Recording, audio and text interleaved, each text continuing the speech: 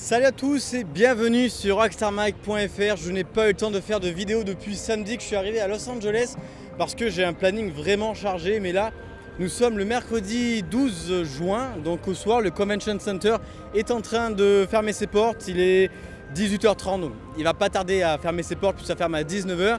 Et aujourd'hui, c'était une journée assez particulière pour moi et je me devais de faire une petite vidéo. C'est déjà mon deuxième E3, le premier c'était en 2016, tu as pu le suivre sur Rockstar Mag, j'avais fait 2-3 vidéos. Et aujourd'hui, c'était une journée folle, déjà j'ai rencontré pas mal de personnes. Geoff Keighley, le, créateur des Games Awards, là où malheureusement Rockstar n'a pas triomphé en décembre dernier, mais où d'habitude il triomphe. Gotti pour GTA 5, Gotti pour Red Dead Redemption, Gotti pour GTA 4. Bref, euh, le mois dernier, en décembre dernier, c'était le Gotti pour Roger Clark. Roger Clark qui est là-dedans. Et depuis mardi, on se court après. Et peut-être que demain, ça ira. Parce qu'aujourd'hui, si tu m'as suivi sur mes réseaux sociaux et sur les réseaux sociaux de Rockstar Mag, eh bah oui, après 6 ans, euh, après avoir créé Rockstar Mag, 4 ans après être officialisé par Rockstar Games, j'ai rencontré les équipes de Rockstar New York. Euh, c'était un moment très très important pour moi, très particulier, parce que voilà, euh, si tu me suis depuis longtemps, tu sais que je suis un énorme passionné de jeux vidéo. C'est pour ça que je suis rédacteur chez Presse Citron. C'est pour ça que j'ai trois chaînes, Liberties Games, que je t'invite à suivre si tu veux découvrir tous les coulisses de l'E3 parce qu'il y a au moins une vidéo par jour une vidéo vlog sur tout, tout ce que je fais au long de la journée, mais aussi des avant-premières, etc. Enfin, les avant-premières, ça va arriver, mais il y a eu les, les, les, comptes rendus des conférences, etc. Donc ma chaîne s'affiche juste là ou dans la description de la vidéo si tu veux suivre vraiment le 3 comme si tu y étais. Mais j'ai également créé Naughty Dog Mag en 2019 parce que Rockstar Games et Naughty Dog sont les deux studios mes deux studios coup de cœur, vraiment les deux studios avec qui j'ai grandi. Naughty Dog, c'est trouvé avec mon père quand j'étais gamin depuis l'âge de 3 ans. Puis Naughty Dog, euh, Rockstar, c'est avec mon adolescence, les GTA, les Red Dead, et les Noirs, Max Payne. C'est deux studios qui m'ont marqué. Donc aujourd'hui, rencontrer les équipes de Rockstar Games France. J'ai rencontré Simon, je ne dévoilerai pas son nom de famille parce que Déjà, j'ai été autorisé à faire une photo, mais vous savez, Rockstar sont très, euh, très discrets, donc c'était déjà cool de sa part de pouvoir faire une photo, de le diffuser sur les réseaux sociaux. Mais on va s'en tenir à Simon.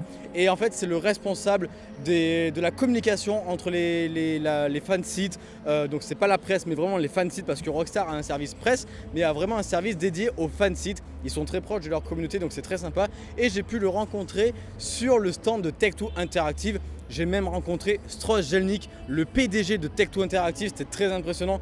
Quand je l'ai vu, qu'on a commencé à parler, j'étais un peu là en mode je perdais mes mots, je savais plus trop quoi, trop quoi lui dire parce que c'est quand même euh, bah, c'est quand même le patron de Rockstar, donc c'est quand même pas grand chose. Euh, je sais qu'on va me poser des questions et je ne sais pas vraiment ce que je peux dévoiler. On a parlé de plein de choses avec Simon. Euh, dont des choses que je m'y attendais pas parce que c'est quand même confidentiel. Euh, on a parlé d'un certain jeu qui finit par 6. Euh, je m'y attendais pas du tout donc je ne peux pas dévoiler. On a parlé du futur de Red Dead Online, du roleplay qui va arriver cet été. Il a dit que ça va vraiment être énorme et qu'on n'est pas prêt. Il m'a donc ça je pense que je peux dire. Il m'a simplement dit que à l'heure actuelle Red Dead Online il n'en est même pas à ses débuts. C'est vraiment, vu tout ce qu'il prévoit d'arriver, ça va être complètement dingue et on n'est pas prêt. Et il en est de même pour GTA Online. Euh, c'est-à-dire que GTA Online, euh, on pense que ça arrive peut-être à la fin. Et ben non, ils ont encore plein, plein de choses. Je sais, la prochaine mise à jour de GTA Online. Et ça va être complètement dingue. Donc vraiment, il va falloir suivre sur Rockstar Mag. Je sais que depuis trois semaines, un mois, c'est un peu au ralenti, mais je préparais à fond le 3. Et j'ai eu plein, plein d'avant-premières, Cyberpunk et tout, des jeux qu'on attend. Donc c'est pour ça que c'était un peu au ralenti. L'été, c'est toujours un peu au ralenti, mais t'inquiète pas, euh, ça va repartir à fond sur Rockstar Mag. En tout cas, je voulais faire cette vidéo pour remercier tout le monde. On arrive bientôt à 100 000 abonnés, c'est dingue. Euh, et c'est grâce à vous parce que c'est avec Rockstar Mag que tout a commencé? Euh, là, on est le 12 juin. Demain, le 13 juin, ça fera 10 ans, 11 ans, pardon, 11 ans que euh, je me suis lancé, 11 ans que Liberty 93 existe. Et c'était important pour moi de vous faire un compte rendu, de vous remercier, de vous dire les, émotions que j'ai ressenties. Quand je suis ressorti, donc je suis resté une demi-heure avec Rockstar, je tremblais, j'étais vraiment, je me disais, putain Chris, tu as rencontré Rockstar Games, les vrais Rockstar New York, et ils nous ont, euh, ils nous ont dit, si tu passes par New York, tu nous envoies un mail et tu viendras euh, nous rencontrer directement dans nos locaux. Autant vous dire que je suis déjà en train de voir pour partir pour New York, mais c'est dingue, c'est dingue pour moi, un, petit, gamin qui a commencé, euh, voilà, j'étais rien, moi j'étais collégien, j'avais un rêve, c'était de vivre du, jeu vidéo. Depuis quelques mois, ce rêve est une réalité, je vis du jeu vidéo Et voilà, donc c'est incroyable. Aujourd'hui, c'était vraiment une journée incroyable. J'ai rencontré plein de personnes. Euh, voilà, c'est fou. Donc je voulais faire cette, vidéo, euh, partager les photos avec Strojelnik, avec Simon, euh, vous dire ce que j'ai pu ressentir.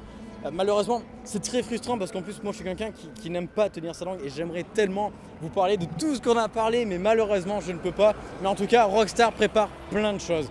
C'est que le début is coming, comme on dit, ça va être génial.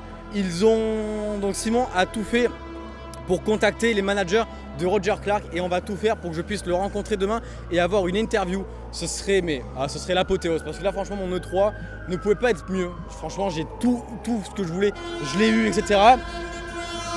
Il y a les pompiers qui passent, ça fait du bruit.